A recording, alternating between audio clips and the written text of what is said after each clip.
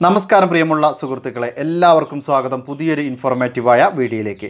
സംസ്ഥാനത്ത് Nipah virus സ്ഥിരീകരിച്ചതിന് പിന്നാലെ അഞ്ച് ജില്ലകൾക്ക് ജാഗ്രതാ നിർദ്ദേശം നൽകിയിരിക്കുകയാണ്. യാത്രാ നിയന്ത്രണങ്ങളും ഇപ്പോൾ ശക്തമാക്കിയിരിക്കുകയാണ്. അപ്പോൾ എല്ലാവരും വളരെയധികം ശ്രദ്ധിച്ചിരിക്കണം. ഇനി പഴവർഗങ്ങൾ കഴിക്കുമ്പോൾ ശ്രദ്ധിച്ചിരിക്കേണ്ട വളരെ പ്രാധാന്യമുള്ള ചില അറിയിപ്പുകൾ ഇപ്പോൾ എയിംസ് മേധാവി അറിയിച്ചിട്ടുണ്ട്. ഇതുകൂടാതെ ഒരു ഡോസ് കോവിഷീൽഡ് വാക്സിൻ എടുത്തിട്ടുള്ള ആളുകൾക്ക് കോടതിയുടെ ഒരു നിർദ്ദേശവും ലഭിച്ചിട്ടുണ്ട്. മാത്രമല്ല റേഷൻ കാർഡ് ഉടമകൾക്ക് രണ്ടായിരം രൂപയുടെ ധനസഹായം. അപ്പോൾ എല്ലാവരും ശ്രദ്ധിച്ചിരിക്കേണ്ട വളരെ വളരെ പ്രാധാന്യമുള്ള ചില അറിയിപ്പുകളുടെ വിശദാംശങ്ങളാണ് പങ്കുവയ്ക്കുന്നത്.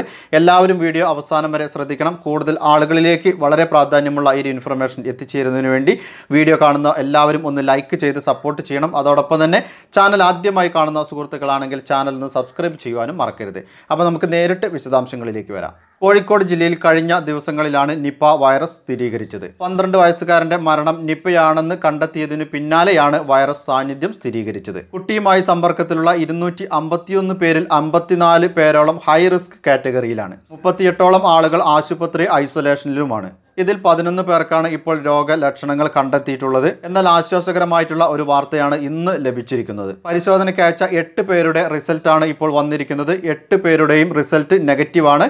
ഇവർക്ക് നിപ്പ ഇല്ല എന്ന് സ്ഥിരീകരിച്ചിരിക്കുകയാണ്. മൂന്ന് വീതം ഇരുപത്തിനാലോളം സാമ്പിളുകളാണ് പരിശോധനയ്ക്ക് അയച്ചത് എല്ലാ സാമ്പിളുകളുടെ ഫലവും നെഗറ്റീവാണ്. ഇതിൽ കുട്ടികളുടെ രക്ഷിതാക്കളുമുണ്ട് എന്നുള്ളത് ഏറെ ആശ്വാസകരവുമാണ്. ഇന്ന് കൂടുതൽ പേരുടെ സാമ്പിളുകൾ അയക്കാനാണ് തീരുമാനിച്ചിരിക്കുന്നത്. ഹൈ റിസ്ക് കാറ്റഗറിയിൽ ഇനി നാൽപ്പത്തി എട്ടോളം ആളുകളുണ്ട്. വയനാട് നാല് എറണാകുളം ഒന്ന് കോഴിക്കോട് മുപ്പത്തൊന്ന് മലപ്പുറം എട്ട് കണ്ണൂർ മൂന്ന് പാലക്കാട് ഒന്ന് എന്നിങ്ങനെയാണ്. ഇതിൽ അഞ്ച് പേരുടെ ഫലം ഇന്ന് തന്നെ വരുന്നതാണ്. ഒരു വൈറസ് ബാധ കുട്ടിക്ക് ഏറ്റിരിക്കുന്നത് റംബുട്ടാൻ പഴത്തിൽ നിന്നാണ് എന്നാണ് സംശയിക്കുന്നത്. അതിന്റെ അടിസ്ഥാനത്തിൽ പാതി കഴിച്ച റംബുട്ടാനും നിലത്ത് വീണ് കിടക്കുന്ന റംബുട്ടാനുകളുമൊക്കെ പരിശോധനയ്ക്ക് അയക്കാനും ഇപ്പോൾ ആരോഗ്യമന്ത്രി വീണ ജോർജ് നിർദ്ദേശിച്ചിട്ടുണ്ട്.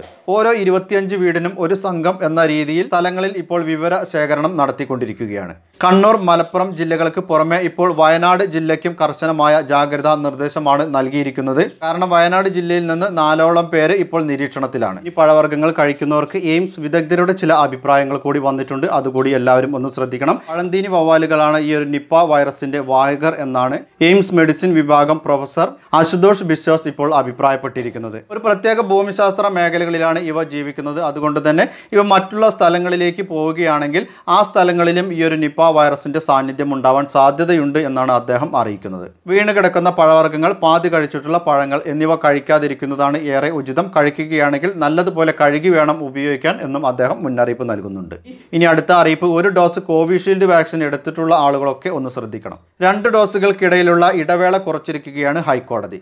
താല്പര്യമുള്ള ആളുകൾക്ക് ഒരു ഡോസ് കോവിഷീൽഡ് എടുത്തിട്ടുള്ള ആളുകൾക്ക് ഇരുപത്തിയെട്ട് ദിവസത്തിനു ശേഷം രണ്ടാമത്തെ ഡോസ് സ്വീകരിക്കാം എന്നാണ് ഹൈക്കോടതി വ്യക്തമാക്കുന്നത്. എന്നാൽ സർക്കാർ നൽകുന്ന സൗജന്യ വാക്സിന് ഈ ഒരു ഇളവ് ബാധകമല്ല എന്നും ഹൈക്കോടതി വ്യക്തമാക്കിയിട്ടുണ്ട്. അടുത്ത പ്രധാനപ്പെട്ട അറിയിപ്പ് സംസ്ഥാനത്തെ ഗുരുതര രോഗം ബാധിച്ചിട്ടുള്ളവർക്ക് മാസത്തിൽ രണ്ടായിരം രൂപ നൽകുന്ന സമാശ്വാസം പദ്ധതിയിലേക്ക് ഇപ്പോൾ അപേക്ഷകൾ സമർപ്പിക്കാവുന്നതാണ്. അരിവാൾ രോഗം ബാധിച്ച ആദിവാസി ഗോത്ര വിഭാഗത്തിൽ ഉൾപ്പെടാത്ത B P L ration card ഉടമകൾക്ക് ഓരോ മാസവും രണ്ടായിരം രൂപ വീതമാണ് ലഭിക്കുക. അപേക്ഷകൾ panchayat municipality C D S എന്നിവ മുഖേനയോ അല്ലെങ്കിൽ നേരിട്ടോ അപേക്ഷകൾ സമർപ്പിക്കാവുന്നതാണ്. അപ്പോൾ വളരെ വളരെ പ്രാധാന്യമുള്ള അറിയിപ്പുകളാണ് ഈ ഒരു വീഡിയോയിൽ പങ്കുവച്ചത്. എല്ലാവർക്കും ഉപകാരപ്രദമായി എന്ന് വിചാരിക്കുന്നു. എല്ലാവരും അഭിപ്രായങ്ങളും നിർദ്ദേശങ്ങളും കമന്റിലൂടെ എഴുതി അറിയിക്കുക. പുതിയ ഒരു വീഡിയോയിൽ നമുക്ക് വീണ്ടും കണ്ടുമുട്ടാം. അതുവരെ